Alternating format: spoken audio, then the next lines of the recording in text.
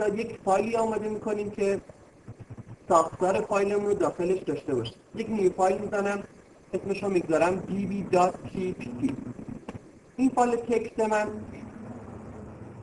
که در واقع در برگیرنده اطلاعات من خواهد بود رو به عنوان مثال چند تا مقدار داخلش وارد می‌کنیم که بعد بتونیم در موردش تصمیم بگیریم. separate کننده مشخصات یک فرد علامت یا خواهد بود مشخصاتش به عنوان مثال جو. مک و separate کننده هر نفر علامت sharp خواهد بود. پس حالا نفر 101 جدا کنندش به عنوان مثال مایک جدا کنندش دوباره مجددا مثلا اسمیت.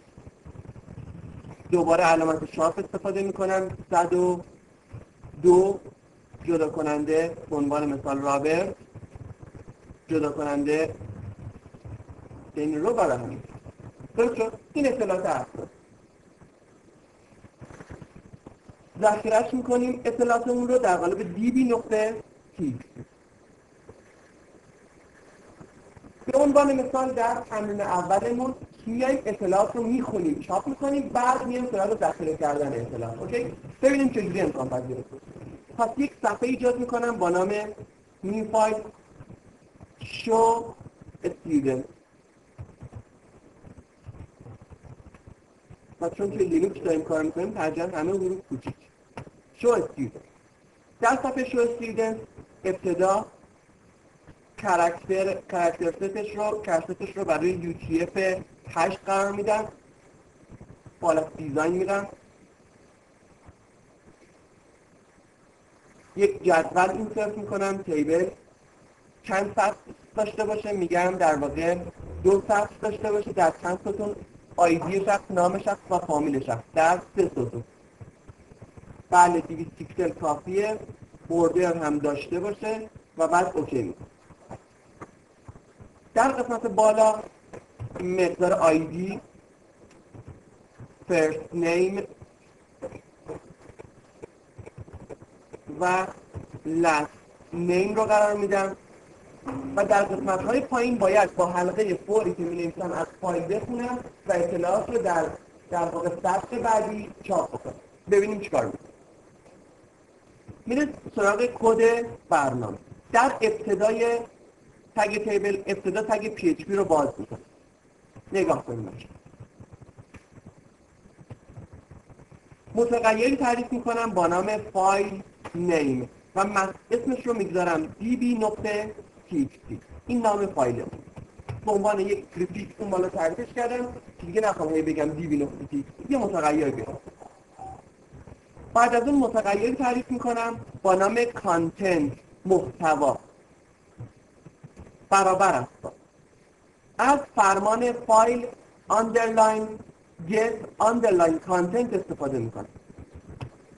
میگه که نام فایل تو بگو در ضمن use include path هم به صورت optional قابل استفاده است. میگم نه با use include path کاری ندارم.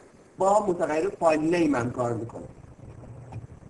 توسط این دستور ساده که در PHP 5 اضافه شده شما محتوای یک فایل رو می‌تونید در version های قبلی PHP شما ابتدا باید فایل رو open کنید. بعد به صورت 1024 1024 تا سطر به سطر بخونید و بعد اون کاری که می‌کنه انجام بده. این به کلا یک فایل محتواش رو می‌خونه.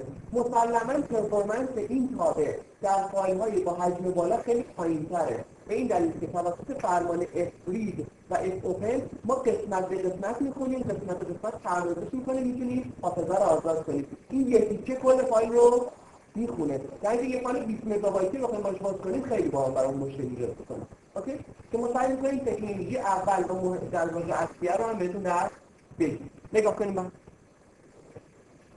دلار آندرلاین کانتنت کل محتوای فایل رو باز می‌کنه. ببینیم با هم دیگه. کل رو خون. باید تبدیلش کنم به یک آرایه. پس متغیر می‌گیرم با نام student دانشجویان. برابر است با. از فرمان explode استفاده می‌کنم. explode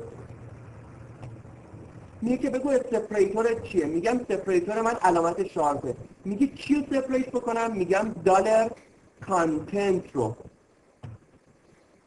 خروجی تابع explode کردن براتون درس میدم و می یک آرایه پس الان دالر استیودنت دالر استیودنت مثلا صفر به چی اشاره می‌کنه؟ به کل محتوای صد جو مکس اشاره می‌کنه. آخر چند؟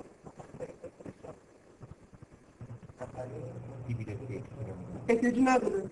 احتیاجی نداره. ببینید شارپر اینو جدا می‌کنه بعد اینو جدا می‌کنه بعد اینو جدا می‌کنه. احتیاجی بهش نداره. خب.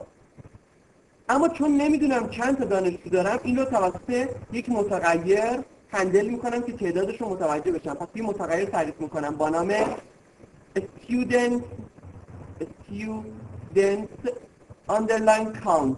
تعداد دانشجویان. برابر است. با تابع چی استفاده می‌کنن length تابع count فکر می‌کنم. بله. تابع count درست. چی رو بهش میدم؟ student رو بهش میدم. که در واقع تعداد دانشجویان رو به ما برگردونه. تا الانش میگم یک فرمان پرینت صادر می‌کنم. میگم چاپ کن ببینم چند دانشجو دارم تیکه به تیکه تست می‌گیرم و حالا ران می‌کنم.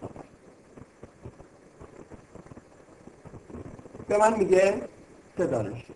به این دلیل که سه علامت شار جدا کننده سه بخش رشته ما بوده. پس متوجه شد که چند تا دانشجو وجود داره. حالا باید با یه حلقه فور هر دانشجو چکار کنم بچه ها parse ش بکنم تجزیهش بکنم چجوری؟ نگاه بکن. میگیم for این خب ببخش اینجا که int نداریم. for i برابر با صفر. تا وقتی i کوچکتر است از dollar student underline count I plus student دیگه درسته؟ دلر آیو چی شده؟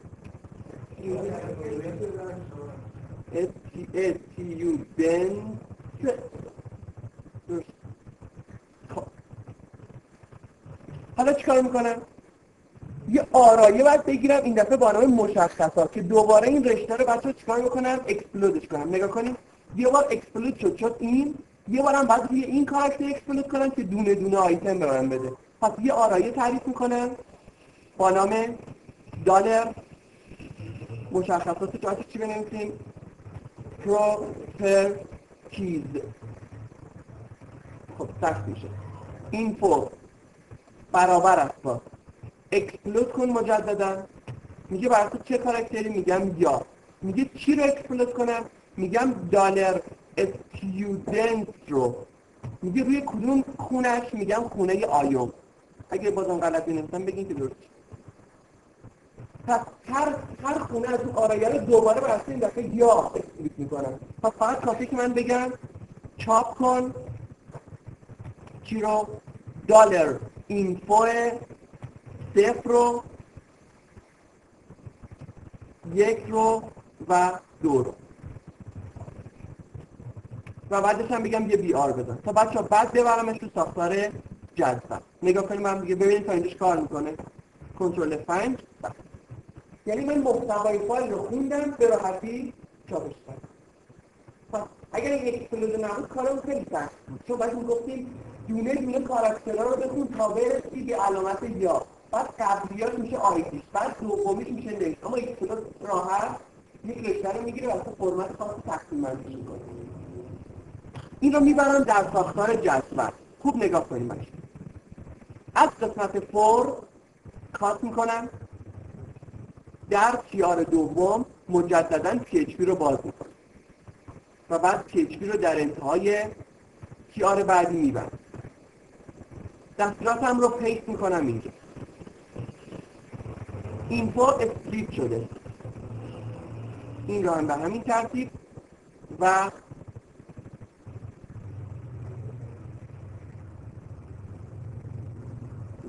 من یک نظر می‌برم جلوتر اما در این نقطه دوباره PHP رو میبندم. و به جای اینها خاطر اینکه بچه با اون تکنیکی به بهتون گفتم که در واقع پی رو HTML رو خراب نکنیم بدون فرمت باقی بمونه. پی اچ رو میبندم دوباره پی اچ رو باز می‌کنم. این دفعه فرمان پرینت صادر می‌کنم. چی رو میگم؟ dollar info صفر رو. اینم از این. بعد دوباره PHP رو میبندم و به همین ترتیب این هم می‌ذارم جای پایینی. جای پایینی. و بعدش هم برای اینکه این کار خراب نشه یه دونه PHP اینجا. باز می‌کنم که آکولاد رو بزنم اینم خونه یک اینم خونه دو. حالا اجرا می‌گیریم هم دیگه. نگاه کنید. این جدول بانک اطلاعاتی. یعنی می‌خوایم اینقدر پیش بریم که شما بگین که ما با این فایل کار می‌کنیم نمیریم سراغ بانک اطلاعاتی چون خیلی از کارامون می‌تونه مشکلاتمون حل بکنه. یک بار مرور می‌کنید خوندن محتوای کامل فایل جداسازی بر اساس علامت شار گرفتن تعداد دانشجویان حرکت توسط یک حلقه فور در آرایه. اشاره به هر خونه آرایه. تقسیم بندی و جداسازی بر اساس کاراکتر یا. تبدیل به آرایه با نام این که سه مشخصات داخلشه و استفاده از.